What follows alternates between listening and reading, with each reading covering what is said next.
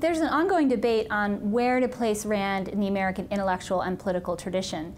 Because she was such a unique thinker, she combined elements from so many different things, and it's hard to figure out exactly where she should fit.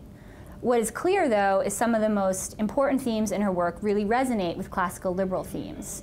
Um, specifically, her emphasis on individualism, suspicion of centralized power, and her advocacy of free markets. These are all staple themes of classical liberal thought, and they're also fundamental to Rand's thought. So, on individualism, individualism is really the key theme for Rand. It's the motive power of her writing, it's the most important idea she wants to convey. And in Atlas Shrugged, her choice is to show how individuals matter in business and how their productive contributions to business power society as a whole. So a good example of this would be Hank Rearden and his work inventing a new steel alloy. Now, Rearden runs his own business, he's a manager, but he's also an engineer and a creator. And Rand really makes clear that it's his contributions, his genius, his thinking that lie at the heart of his businesses. The same thing with Dagny Taggart, who runs a railroad. It's a family business, she's inherited it, but she's very entrepreneurial within the context of this business, developing new lines, using new materials, always paying attention to what her competitors are doing.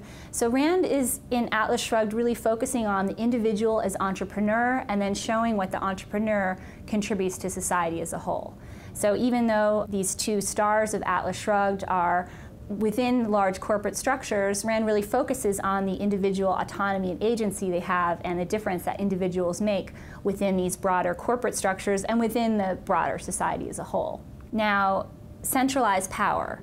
Suspicion of centralized power is fundamental to all classical liberal thinkers. A really good example of this in Atlas Shrugged is Rearden Metal. This is a new invention. It has the potential to revolutionize the way transportation and all types of industrial processes are done. It also has the potential to revolutionize the marketplace and make one person much more successful than the rest because he has invented this incredible new steel alloy. And so what happens is that those who haven't invented Rearden metal go to the government and get the government to pass a series of laws that restricts the sale of Rearden metal, imposes quotas on it. It's because they're not willing to compete openly and fairly and try to go back to their own labs and create a new alloy. They don't want competition. They want to hold back the person who's innovated and who's broken ahead. So um, it's, it's a very vivid story. The dog eat dog law, the equalization of opportunity law, all these laws are passed specifically to inhibit Rearden metal.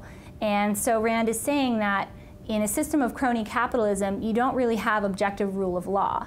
You have subjective laws that are passed when certain people are more connected with the government and are able to use the government to uh, gain competitive advantage over others in the marketplace. This is what economists call regulatory capture. This is an idea that's really fundamental in Atlas Shrugged, but she shows it not by using an abstract economic term, but by painting the relationships at work. So, although Rand is remembered as a critic of state power and the federal government, she's also in some ways a very subtle critic of capitalists and of capitalism by showing what it means when crony capitalism is the order of the day, when people are able to seize the power of the government and use it to get ahead of their competitors instead of having a fair, honest fight in a free market. And that's what Rand would support.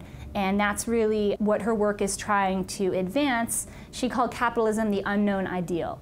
Um, she considered the US economy to be a mixed economy, not a true capitalist economy, because there were so many government interventions in economic life. And these are what she's trying to detail and bring to life and show through all the action of Atlas Shrugged. Now, Rand is known as a great advocate of free markets. Again, free markets are a fundamental organizing principle of classical liberalism. What Rand offers in her work, which is new and unique and important, is this real emphasis on free markets as a place for personal creativity. It's not just an economic argument. A lot of people will make an argument for the free market. It's more efficient, it makes things run better, it makes society more prosperous. Rand is not really interested in those. Those are side effects to the fact that free markets provide the only space for individuals to be creative and to really flourish and to live up to their highest potential. So for her, it comes back to the individual. And what's tremendously important about Atlas Shrugged is it takes the world of business, the corporate world, a world that in the 1950s was considered boring and humdrum and full of conformists. And it makes this world exciting and glamorous, and it shows how the business person can be an artist in their own way, a creator in their own way. And so, what she's really making is as much a cultural argument for free markets as an intellectual argument for free markets. She's saying here is the best of all possible worlds in the free market system when it allows people to have a new idea, work really hard, and bring it to fruition. That for her is the individual living up to their highest potential and as a side benefit, society as a whole may become more prosperous, but it's really the freedom of the individual and the creativity of the individual that's at the core of her concern.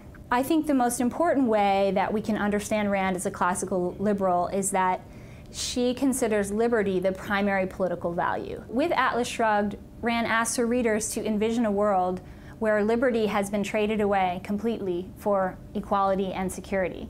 And the question she first asked in 1957, and she continues to ask us today, is do you want to live in that kind of world?